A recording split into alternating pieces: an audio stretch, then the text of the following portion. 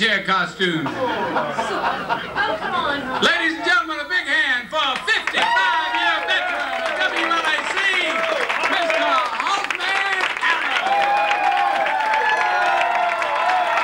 Allen. He flung on his back, and he looked like a dealer just opening his pack.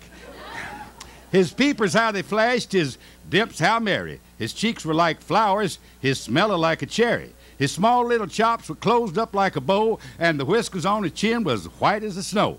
The hump of a smoker he held tight in his teeth, and the smoke it raced all around the skull like a wreath. He had a broad smile and a round little belly that shook when he giggled like a bowl full of jelly. He was fat and plump, a right cool old elf, and I laughed when I peeped him in spite of myself. A blink of his peepers and a turn of his head soon hipped us to know he had nothing to dread. He rapped not a phrase, but went right to his work, jammed all the hosiery, then turned with a jerk, and placing his pointer aside his nose, he gave a smile and up the smokestack he rose. He leaped to his sled, the deers gave a whistle, and away they all fled like down on a thistle. And I heard him shout as he drove out of sight, Cool you to all and all good night.